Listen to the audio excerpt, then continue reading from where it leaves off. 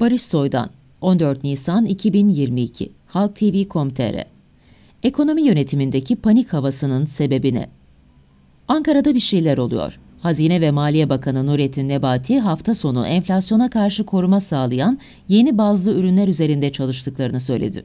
Ben de Merkez Bankası'nda ekonomistlerden dolarizasyona karşı kur korumalı mevduat benzeri yeni yöntemler bulunması istendiğini duydum.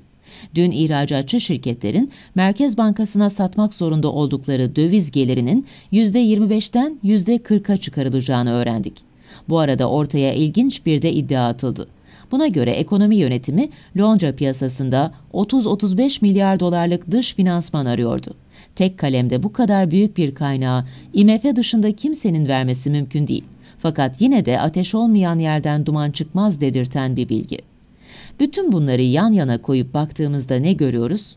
Ben bir panik hali görüyorum. Oysa dolar sakin, hatta birkaç gündür gerileme eğiliminde. Bu paniğin sebebi ne?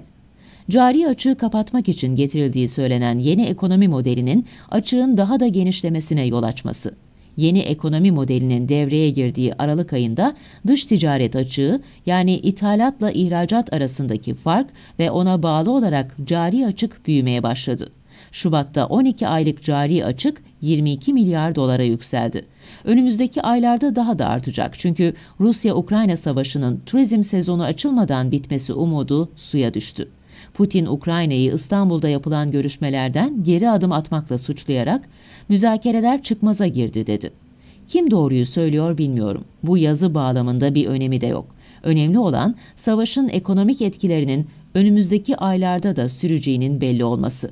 Rusya'dan milyonlarca turist gelmesi artık bir hayal. Ukrayna zaten tümüyle devre dışı. Savaş sürerken Avrupa'dan pandemi öncesi kadar turist gelip gelmeyeceği de şüpheli. Savaş döviz gelirlerini azaltırken döviz giderlerini artırıyor. Çünkü emtia fiyatları savaşla patladı. Petrol 130 doları gördü. Doğalgazın spot fiyatı akıl almaz seviyelere çıktı. Buğday 3 kat arttı. Alüminyumda, çelikte, diğer metallerde büyük artışlar görüldü. Türkiye bunların hepsini ithal ediyor. Yani ithalat faturası katlanacak. Dışarıya daha fazla döviz ödeyeceğiz. Buna karşılık turizmdeki kayıplar nedeniyle daha az döviz geliri elde edeceğiz. Döviz gelirleriyle döviz giderleri arasındaki fark nasıl finanse edilecek? Bunun çeşitli yolları var. 2015 öncesinde olduğu gibi oluk oluk yabancı sermaye giriyor olsaydı cari açıktan endişelenmeye gerek kalmazdı. Yabancı sermaye ile finanse edilirdi. Ama iktidarın Avrupa ve Amerika ile izlediği atar gider politikası yabancı sermayenin ayağını Türkiye'den kesti. Ne doğrudan yabancı sermaye yatırımı yani fabrika kurmaya ya da almaya gelen sermaye ne de sıcak para yani borsaya tahvile diğer finansal enstrümanlara yatırım yapan kısa vadeli sermaye Türkiye'ye geliyor artık. Ev almaya gelen Arapları, İranlıları saymazsak yabancı sermaye neredeyse tümüyle kurudu. Üstelik şimdi bir de Amerikan Merkez Bankası faiz artırımlarına başladı. Bilançosunu küçültecek, piyasadan para çekecek. Bunun etkisiyle dolar tüm dünyada güçlenecek.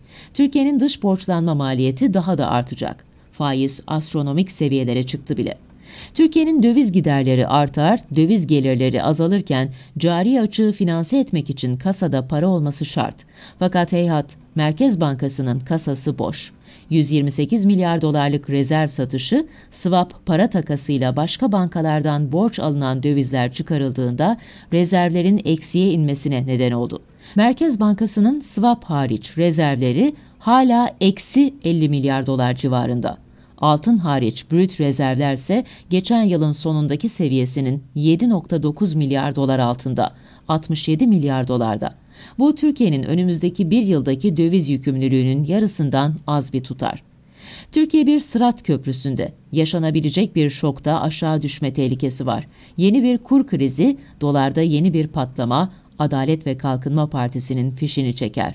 Seçime bu kadar kısa süre kalmışken iktidar bunu göze alamaz. Ankara'daki paniğin sebebi bu. Barış Soydan